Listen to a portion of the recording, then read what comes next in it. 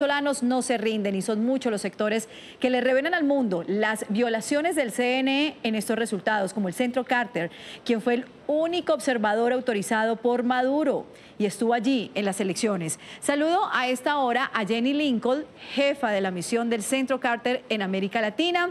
Señora Carter, muy buenas tardes, bienvenida a Noticias RCN en Colombia. Gracias por la invitación. ¿Ustedes qué descubrieron durante su estadía en Venezuela y qué descubrieron el día de las elecciones? Estamos muy preocupados por la falta de transparencia del CNE.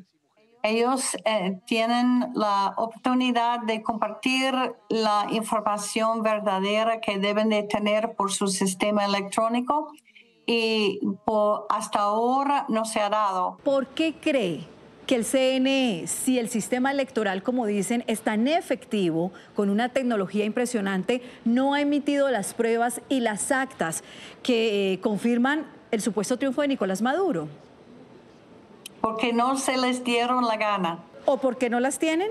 Los tienen. Ellos, ellos tienen, ellos tienen en su sistema, son los datos de la noche del 28 de julio. Vladimir Padrino, cuando recibió a su delegación y dicen que tienen un prestigio ganado. Y dos semanas después, Nicolás Maduro dice que ustedes tenían ese informe que presentaron desde hace rato y que lo que hicieron fue ponerle picante. ¿Cómo ustedes leen ese cambio del régimen?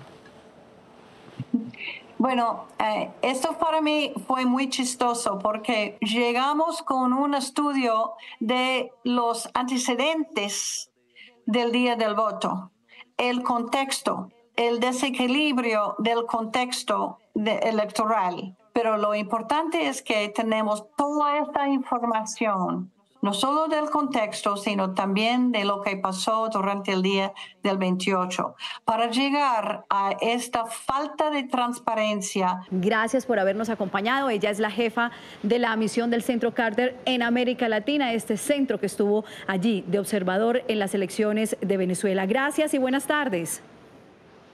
Gracias por la oportunidad.